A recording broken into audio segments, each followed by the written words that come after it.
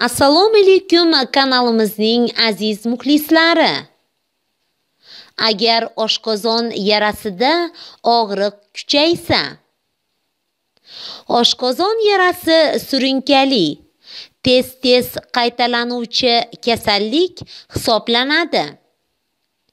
Kasallikning zo'rayish bosqichi 4-6 hafta davom etib, o'z vaqtida kerakli dori-darmonlar olsangiz, 2-4 haftadan keyin bitib ketishi mumkin. Oshqozondagi yara davolanishsiz ham bitib ketishi mumkin.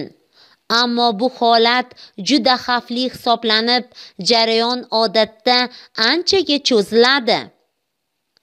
Asabiylashish hazmi og'ir taomlar iste'mol qilish oqibatida yara yanada chuqurlashishi mumkin.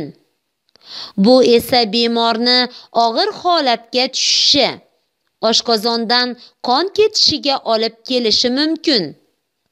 Shuning uchun fursatni qo'ldan boy bermay, davolanishni boshlashingiz zarur.